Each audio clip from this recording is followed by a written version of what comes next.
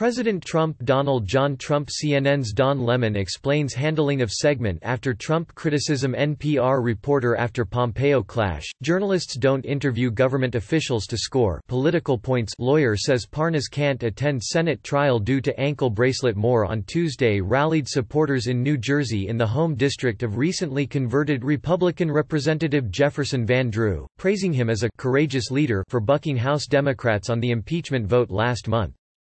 Trump and Van Drew appeared on stage together in Wildwood, where the president highlighted the congressman's flip to the GOP to paint the Democratic Party as out of step with the rest of the country, particularly on the issue of impeachment.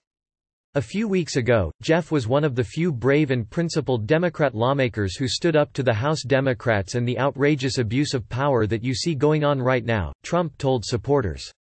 Trump urged attendees to vote for Van Drew in a June 2 primary, where the congressman is expected to face a challenge for the Republican nomination. Trump called Van Drew up to the stage, and the congressman made brief remarks thanking the president for holding a rally in his home district. The president suggested Van Drew's switch was a sign of broader discontent within the Democratic Party, though no other lawmakers have left the party like Van Drew.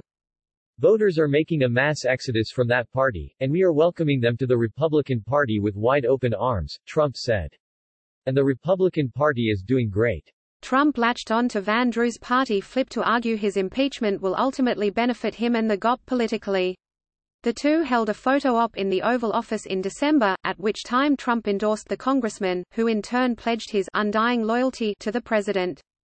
Van Drew represents New Jersey's 2nd congressional district, which Trump won by 4.6 percentage points in 2016.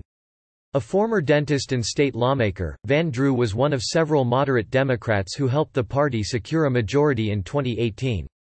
But the congressman grew frustrated with the party as he remained one of its only holdouts in terms of support for impeaching Trump.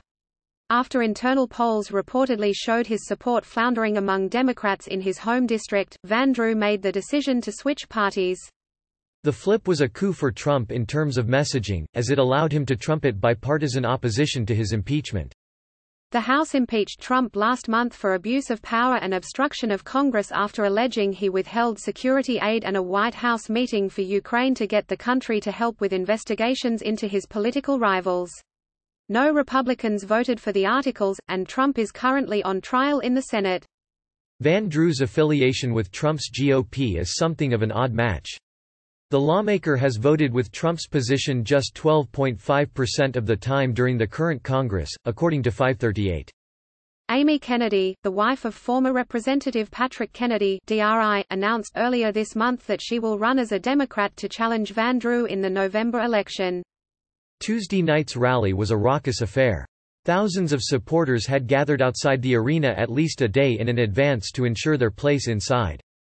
Trump does not often visit New Jersey, other than to spend time at his Bedminster Golf Club.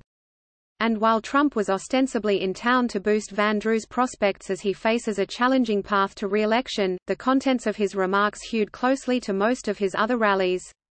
He railed against impeachment, boasted about low unemployment rates and touted recent military operations that killed ISIS founder Abu Bakr al-Baghdadi and Iranian General Qasem Soleimani.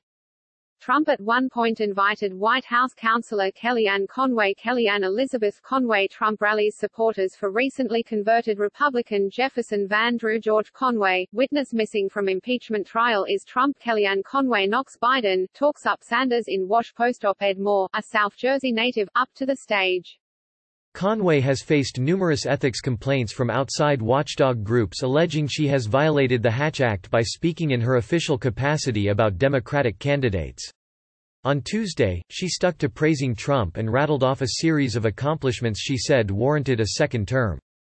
Mr. President, I think South Jersey is Trump country, she said to Cheers.